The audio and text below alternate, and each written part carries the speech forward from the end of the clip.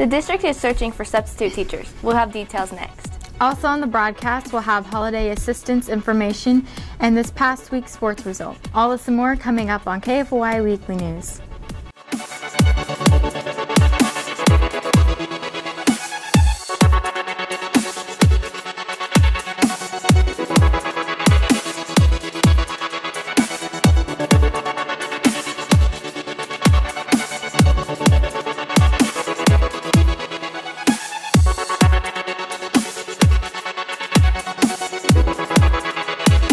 There is no better place than Lunar Bowl for your kid's birthday party. Lunar Bowl has youth birthday party options for as low as $99.95 for a party of six, including two hours of bowling, an arcade card, ice cream, soda, and a lot more. Lunar Bowl can also customize birthday events for adults. Lunar Bowl, 2001 Northwest 7 Highway in Blue Springs. To book your birthday party, call Group Sales Manager Tina Short at 816 220 7722. That's 220 7722. On the web at lunarbowl.com. Lunar Bowl is a smoke free facility.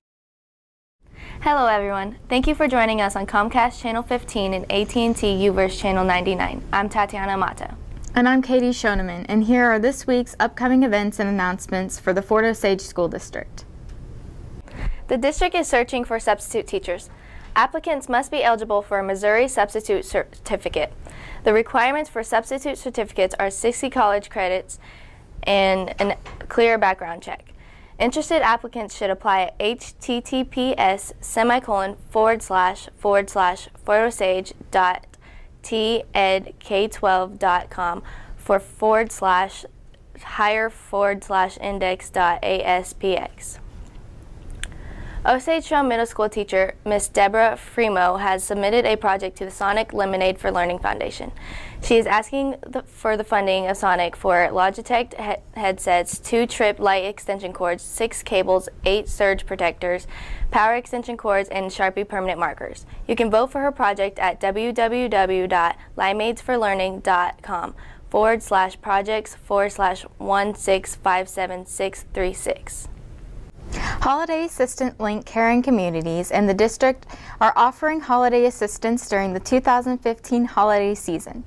To qualify, families must meet certain income requirements and volunteer for three hours at Fort Osage Elementary School or LINC event before December 7th. Families can sign up October 19th through November 6th by contacting the elementary schools. The school district is bringing awareness to disability that students may face as they attend school. The month of October kicks off disability awareness. Please go online and visit tinyurl.com forward slash FOSD disability awareness. Here you will find information about a variety of disabilities and resources to help deal with them. Each month will feature a different disability awareness, so check the site for more information and help bring ability to a disability. we'll be right back with more news from around the district after this message. Toscanos is the best place to get an upscale Italian dining experience with a hometown feel. Start out with enjoying delicious warm bread while the cooks prepare your entree to be served to you fresh. Toscanos offers a vast menu of pizzas, pastas, salads, and more. They offer carryout and can cater to any event. Let Kirk and John give you a taste of Little Italy at Toscanos, located at 312 South Hudson Street in Buckner. The high school football team participated in last Saturday's Walk for Type 1 Diabetes at Arrowhead Stadium in support of the coach's son. When the boys showed up with their jerseys on, Indian Trail students asked if they would pose for a photo with him.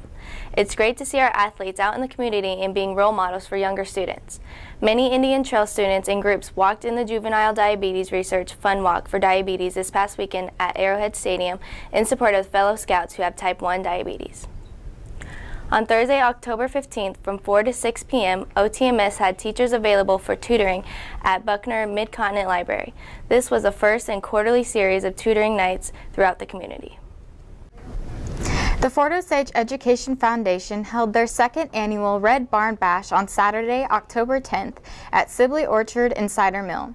Thanks to everyone who came out for dinner, dancing, and a silent auction. The foundation was able to raise $10,000 for the students and staff. The Career and Technology Center is hosting an expo on November 11th from 6 to 8 p.m. Families with students in the 8th through 11th grades are invited to come explore the 14 programs, meet students and instructors, participate in interactive events, and much more. Door prizes will be given every 15 minutes, including grand prizes of a tablet and a USB Bluetooth drive. Here are some events for the, the coming weeks throughout the district.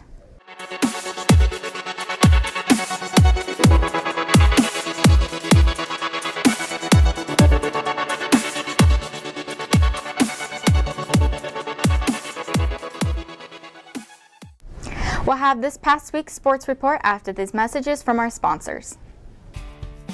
The Blue Springs 8 Theater at 1901 Northwest 7 Highway in Blue Springs offers you a friendly atmosphere to view the top box office movies.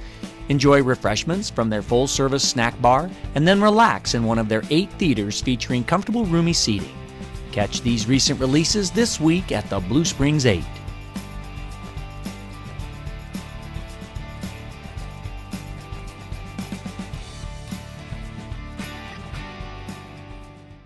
Big Frog Custom t shirts and more is the perfect place to celebrate your style. Visit the store to choose from thousands of designs to get digitally printed on shirts, hoodies, jerseys, and more. You can get apparel for your friends, family, clubs, and businesses. There are no setup or design fees and no minimums, so you can get as little or as many shirts as you want. Custom print your apparel and more at Big Frog located at 2100 East Jackson Drive, Suite D in Independence.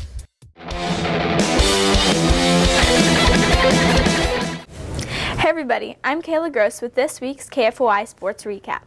The varsity football team suffered its first loss of the season and the first loss during the regular season in three years to Liberty North, 21 to 14. The two scores both involved Skylar Thompson. The first came on the opening drive when he hit Bailey Williamson on a 32 yard touchdown pass. The second came on a scramble that ended up with Thompson finding pay dirt from five yards out. Bryce Richardson came up big with three interceptions on the night two in the first half and one in the third quarter. The Indians finished the regular season on the road against Raytown at 7 p.m. this Friday.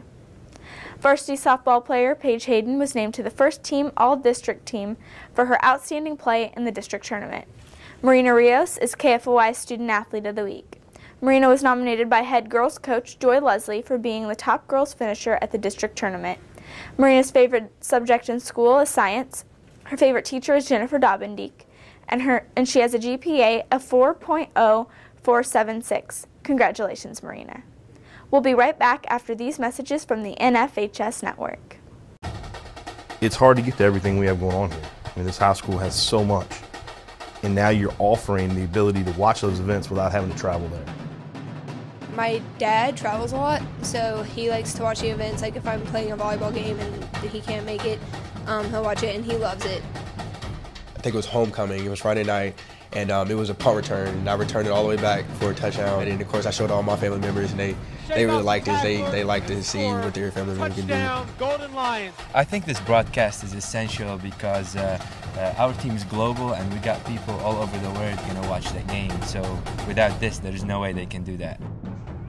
These kids and these players feel loved, they feel important, and by broadcasting it, you have a bigger group that you're reaching that allows them to know those kids.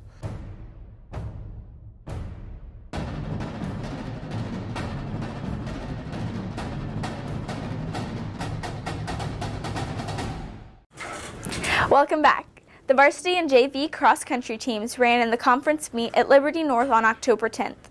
Devin Schreier medaled and led the boys varsity team with the 15th place finish. Healy Alvis garnered first team all conference with her girls varsity fifth place finish. Hayden Astry took 13th for the JV boys. The boys varsity soccer team won their fourth game in a row with a 2 0 win over Raytown on October 12th. Jack DePino and Jake Lammering scored the two Indian goals, and Jeff Bostwick had seven saves to earn the shutout. The JV won 2 to 1 with goals from Pablo Rieg and Julius Schnokel. Boys varsity soccer team then won 3 to nothing over Staley on October 13th. Goals by Keegan Lamring, Abasi Torres, and Noah Smith sealed the win. Jeff Bostwick earned his fourth shutout in five games. The JV tied 0 to 0 with the Falcons. Yernuez Decker earned the shutout. The varsity squad then hosted the Northmen from Oak Park on October 15th for senior night. The Indians lost 3-2 in a hard-fought match, snapping their five-game win streak. Jack DePino earned the first goal and Abasi Torres hit the second one. The Indians are now 4 and 4 in conference and 8 10 and 1 overall. The JV lost to the Northmen 2 to 1 to move to 9 6 and 2 on the season. I'll be right back in a moment with the rest of the sport. Hey Fort Osage Indians, Matt Mitchell here down at Culver's. Welcome back to another great school year. We're super excited to be a broadcast sponsor for your broadcast group at Fort Osage this year. And we just want to let you know to get the year started, we want you to, on Friday nights, know that you can wear any Indians gear, whether it's a hat, a shirt, whatever it is that says your school name on it. Come by Culver's anytime between 5 and close, and you'll get 10% off your entire order. Come in for a delicious butter burger or some frozen custard, whether it's in Blue Springs or off I-70 on Little Blue Parkway. With that gear, you'll get 10% off your order. Thanks a lot. Can't wait to see you. Welcome back. The varsity volleyball team defeated the William Chrisman Bears on October 13th on senior night, 25-19 and 25-14. Seniors Fallon Little, Emily Youngmeyer, Shelby Smith, and Caitlin Newberry all had excellent games in their last home game. Fallon Little struck the heart of the Bears defense with this kill from the first set. Emily Youngmeyer blocked well up front to help shut down the Bears, while Shelby Smith had outside hits that found open areas of the court. Caitlin Newberry added ace serves like this one as the Indians picked up their fifth win on the season. The varsity then lost to Liberty North October 15th, 23-25 and 10-25. Fallon Little had seven kills, and Emily Youngmeyer had 16 digs. The JV beat the Eagles in three sets 16 25, 25 21, and 15 9. That's all for your sports recap. I'm Kayla Gross. Thanks, Kayla. If you have any Fort Osage news and information you would like to share on KFOI Weekly News, let us know. Contact Broadcasting Advisor Benjamin Merrithew at bmerrithew at fortosage.net or Fort Osage District PR Director Stephanie Smith at smith at fortosage.net. Well, that's all we have for you this week. Thanks for watching KFOI Weekly News on Comcast Channel 15 and AT&T Uverse Channel 99. We'll see you next time.